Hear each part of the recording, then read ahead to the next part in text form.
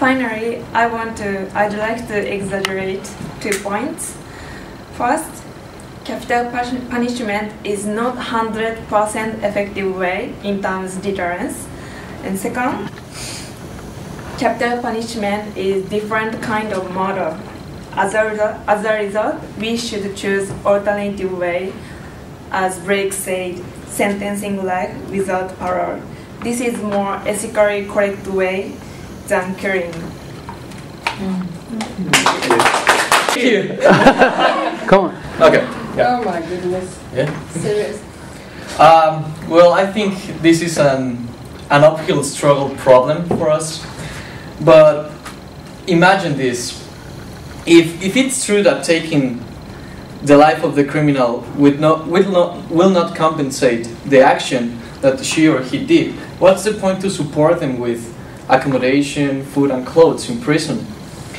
Uh, for me, it doesn't make sense if you use cap. Um, I mean, when when Denise talk about if that even though you use capital punishment, the crimes increase. For me, it doesn't make sense because this is an effective way to stop them.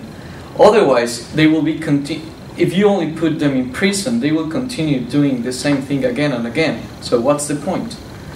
Um, in prison, as we know, for example, in Mexico, um, there are like luxury hotels, and they have cell phones, and they become worse.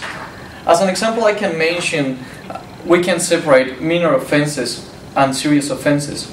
If you put a minor of, a minor offender in in a prison with serious offenders, how will become to a serious offender? Because that's the way it works. Um, as a conclusion, I will not tell you, I will only tell you this. What happened if your mother or your dad was murdered?